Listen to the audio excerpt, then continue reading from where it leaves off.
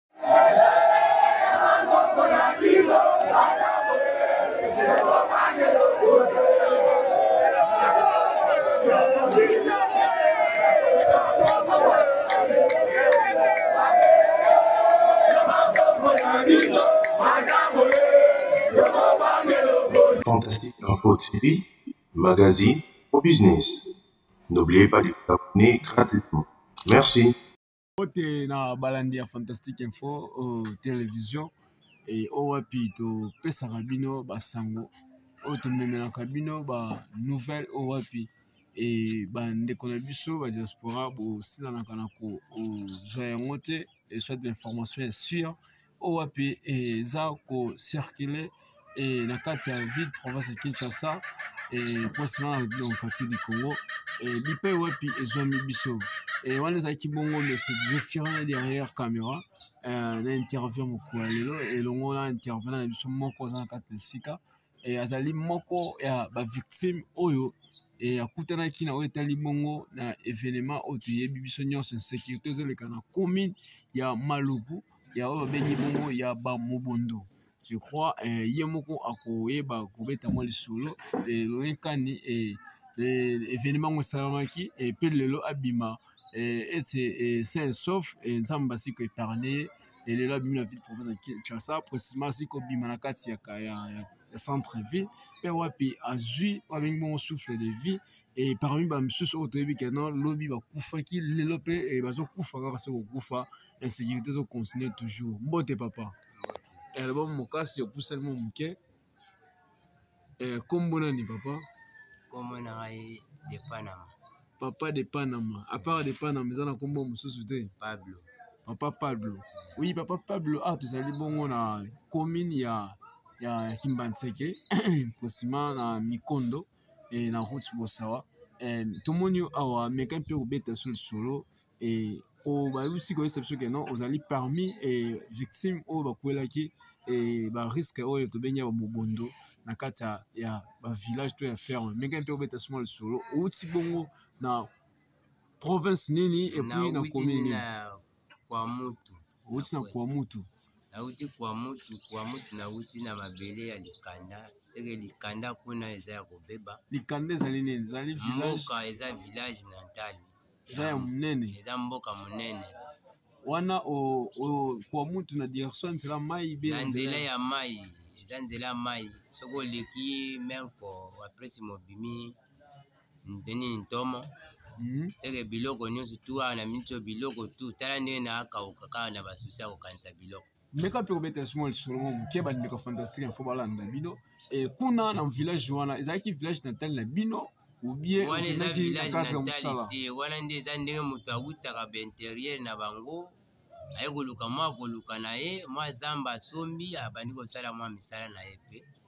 ti ndenge tokoki kokutana na baambiskade ya boye tokomi osundela bazamba kaka boye vraiment donc c'est-à-dire que autaki na zamba autaki na village natal mm. oke kuna na cadre ya cop ya koluka eh, mwa eloko ya kolia mwa mbongo ya kobokola famille eh, okoki kokutana na bariske ya bongo c'est pour ça okomaki na mboka wana mm. mais atalisa biso na mboka wana oyo sikotanga nkombo nini ntomo ntomo kuna mm. ozalaki fermier obi osombaki zamba nazalaki fermier naza na zamba yanga moko misala nyonso natiki mpe na kati ya zamba yanga moko bafufu bamakala zamba ya yo moko otalisa bandeko osombaki yango nasombaki yango na nasombaka yango na chef ya likanda chef ya likanda azali eh. aza chef ekolo nini muyanzi muteke ah, kuna bazalaka bateke te kuna bateke eh, nasombi zamba na mabele ya bateke muteke moto atekeli ngai zamba ntina suka nga mpe nasali ça fait deux ans na deuxième année yango oyo tokoki tolia bakwanga mpe tobila bakwanga yango bakwanga yango mpe sikoyo na mito tokomosundola yango mais natalisa biso ete eh, mpa bateki yango mpa chef yango bateki okotaka depuis ane nini mpe eh, événement oyo ekuteleli eza ya ne oyo be ane yango ndenge eza boye eza ya mikolo eza ya awa banda na ya ça fait deux mois deux mois deux semaines oyo ngai nazobeta awa oyo ngai nazofanda na kati ya kinshasa awa mais natalisa bandeko fantastique info ozala bi ozali victime oyo wapi omonaki farafara na mobondo me kokamwa yo bimi eh, na bomoi nayambi bango nakanisazalaki na ndenge ni beta mwa lisolo beta mwa lisolo bandeko azolanda yo nakanisaki ka ndenge oyambi nga boye na tongo to na butu na tongo na ba 6 heures oza na ferme na yo na ferme na nga moko nayambi bango mpe ti balie mpe kolia oyo balie mpe nakanisaki bato ya malamu oyo bazalaki combien de personnes trois personnes nani nani basi mm, kaka bamibali mibali moko azoloba te na baage nini wana ah, bakolo moko mwana moke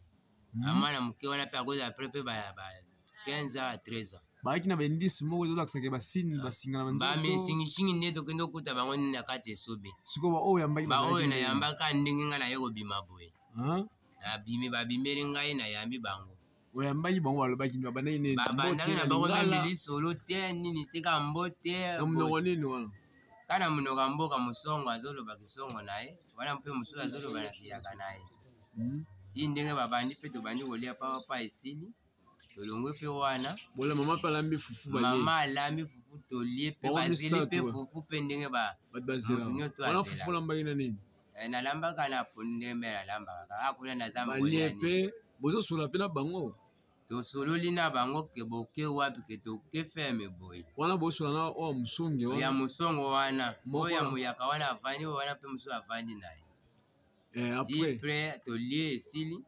basimi mpe nzela bazongi nzela na bango me na babaki bake bake wapi bake mboka nini en fait balobaki ke bake nsele nsele eza mokili nsele oyo kaka nsele ye to nsele ya bino mosusu nsele kuna mpe epai na biso mpe toza na nsele oyo ya bino mpe koto ya mokili eza nsele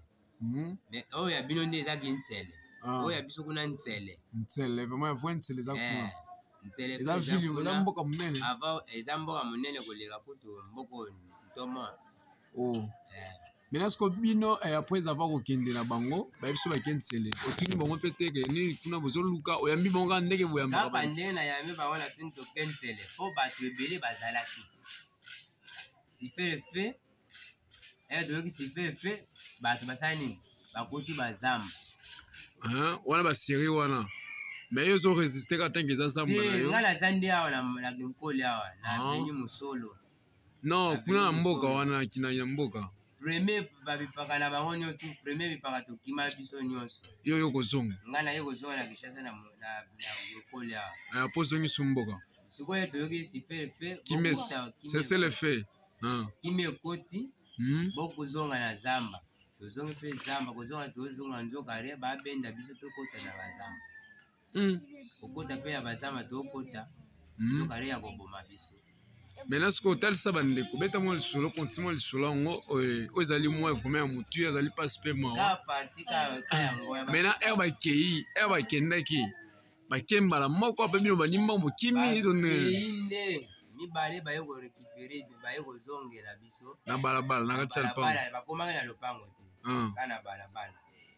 na balabala bakomi wana biso mpe wana tozwi te oshe biso tolekani wana monoko nini wana azoyebisana na kisongo hmm. ke moshe biso tolekani me ndenge tolekana boye bino bosala nini bokimisa kimisa bana na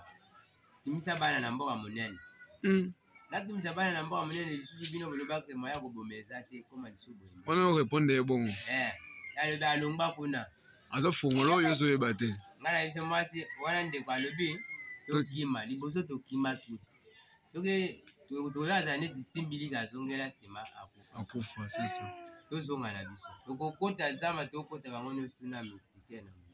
bakangaki kutu basinga ozomona da bakanga batiaki osinga ngonzi oyo bilamba doya bokima na zamba be kokuta na bango maplein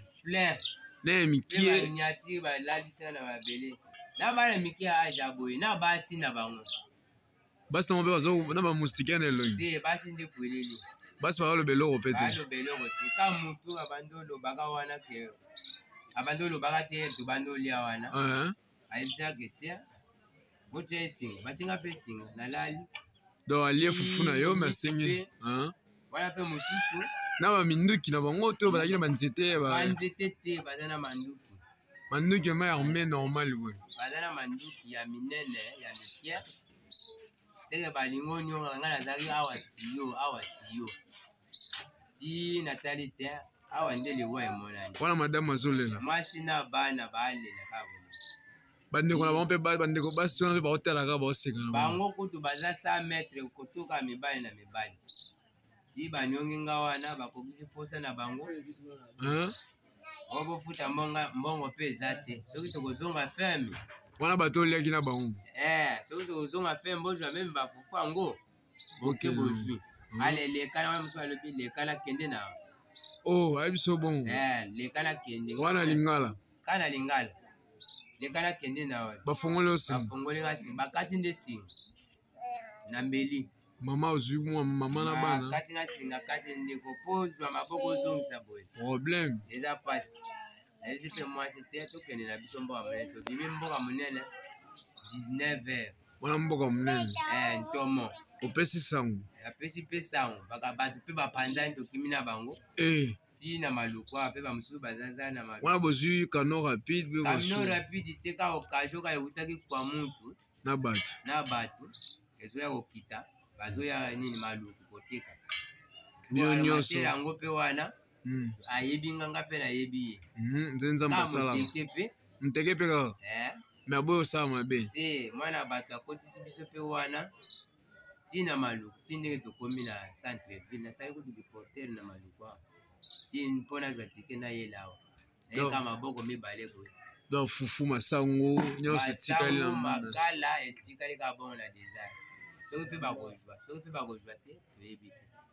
maintenant d'après bino ndenge omonelaki bango eza bango kaka bacongolais ou bien ezalaki na baétranger eza na baétranger oyo bamosusu baloba meme lingala e bakanga liyaka bamosusu bavandi kaka boye neti bababa kati yo tiyo boye alobela maintenant par rapport ekotala elongi boye kokemake kaka naza congolais malgré toyebi lingala te bakongolais te bakata bazolo milai bongo na bacongolais baza lokola bachef na bango bamilai mpe eleki bango mpe lisusu na bango baza lokola bachef bajeune wana basu wana mpe te nga na yo toyebi mais nde bamonaki par rapport ya commandement bane banopesa mingi komba banokomande ezalaki bango bato wana euh, bango nyonso to moto ya malamu azalaki na ye te donc na kotala bien eh, bazalaki bainfiltre eh, oyo basanganaki eh, basalaki collaboration na bandeko na biso de façon ke bameka kobundisa biso bacongolais c'est-à-dire ke wana bazwaki lokola bayaka bazwi lokola basonge batize bango comme baéclaireur bango nde soki batalaka makambo nyonso na miso basalaka bakomani bagidaka bango kua ah, wana tokoyeba nde ngai na yo mpe kaka nde toza boye okutani na moto oyebi mobimba na bango ndenge bayeli te siko d'après bino ndenge omoneli eh, ndenge ozoyoka bando ye awa ah, ozali déjà deux mois eh, na basango oyoki ata sango te kena kimi ekoti na mipanzi wana ekoti nango nano te mapanzi na biso ata ndenge nini ekoti te nga dimani na va toko grand sere ya kokufa awa sabina hmm? papa kutu azoyeba made oyo ye akende olala wana mume condoléance tozwi mpe ebembe totiki na morke awa na zokole Hmm? Ili na ke mpe maluku na verifie milie eza mabe kaka bato tokima na bango na maluku na maluku balobi kozonga na yo te kuna eza kaka ya kobeba sikoyo nakozonga ndenge nini bon fo mpo kozonga to na liboso ozonga obimaki oza mabikisi ya mibale so ke supertetias ya mibale nakozonga te non ya limi oke oh, ozongaki oza deya ya mibale mpo lobi ya liboso yaki na kinkole ya liboso nde eh. oyo ya mibale nde yango ene ye aye kokimela kasi yango na nzambe abiki soda cetadi so ozongisi pour la troisième fois oza moto ko okwea sikoyokufa ndenge bakangaki nga singa bongo ata biloko wana ekotikala nango nazosala nanga meme reporte bachef oyo bachef oyo batekelaki bino ndenge oyebeli eh, bamikimelaka deja bien avantnda tongo bachef bakenda na bango batika na bango mabele mena dapre bino ndenge otalelaki bango ndenge omonelaki bango bekolo nini oyo azo cible mingi ba baluba bateke kuna nde papa na ndenge tozoyokelaka bato mobondo eza bikolo kilikili mpo bamosusu bazolobela lingala te mosusu te kaka zwi avandi na ye kaka boye osikoyo okoyebela yango ndenge nini oyeba portion na yango te mena toni totuna bino na bakote bozalaki wana na bakote oyo babike kote na biso liboso nde ekotaki te hmm. donc nde biso tokimaki bongo ekotaki nango te po kote oyo ezomonake e babandaki kala bino na inongo na inongo boza pembeni mpe boza badistance eza ya makasi inongo eza mosika biso lobaka enyoki kuna mpe bakoma te wana eza kote mosusu hmm. biso toza frontiere na fleuve na nini kasai me na kuna na bino na kinshasa awa oh, famille ezalaki bie euh, eh, ndenge olobi ke non osalaki kiporte na niveau ya libongo et de façon eh, o retrouve moi quelque chose un petit rien mpona transport mais na famille ezalaki déjà awa bayebaki kendeko na biso azalaka kuna bayebi bien nyonso na ndenge nazongaki bazoyeba ke azongi alandi misala na ye mpo tobila bakwanga yango ka yango tosungeli vraiment maintenant soki ozoloba nini na bakonzi ya mboka eh, soit eh, na ba, uh, ba baoyo baza kosala mabe bazolanda biso mpo bazolanda mpe biso baza koapuye bato ya bongo bayeba komema eh, le mal insécurité eh, bandeko na biso bacongolais koboma bango ozoloba na bango nini na bandeko bazolanda oyo oh, bakeno bazoluka eh, bakonzi na biso nde bato bakozwela biso nde swe hmm? bakonzi na biso nde bakozwela biso nde swe ya zamba vraiment po bazwi nde makambo ya zamba baswane zamba bato barekipere misala na bango basundoli misala lelo fufu ekomi mpasi boye na miso lelo hmm? moto azosomba na mbongo ye kolia mpe fale alobi me biso mpe toza na bacharge me place tobandi obika kaka yango wana bakonzi nde bato bakozwela biso solution ya bato wana mpo nga na yo civili boye na kokoka na ngai te tala ndenge toza ya kokima soki tozali na makasi kotelema opiki wana me okopika ndenge nini seke bakonzi oyo baza liboso nde bato bakozwa biso solution oyo tokaki kena chef kutu ya monene chef azalaki na kisa makasi me akufi anokoma ah, liome babomi bamilie mosusu bamilie na biso kaka ndenge ekoti boye sika kokima nyonso yango evolution yango na ntina suka nayebi te merci beaucoup balandi ya fantastique info tv télévision baoyo oh, wapi bosila koyoka oh, message oyo oh, eh, koyoka ndeko na biso na nkombo ya papa pablo eh, oyo azalaki moko ya victime ya, ya, ya, ya, ya, ya milisi oyo toyebi bakoma bobondo gloire adie asili kobika eh, nzambe azwa lokumu eh, na lolenge tomoni lisusu ndeko na biso na mokolo ya lelo eh, eza vraiment mpasi partage balien na bandeko bazolanda biso oyo baza na besoin kolanda biso mpe oyo baza na besoin ya koyeba ba information oyo etali bango plateau de bateke mais ce dernier temps toyoki c'est comme si un eh, dialogue esalamaki ezoluka esalama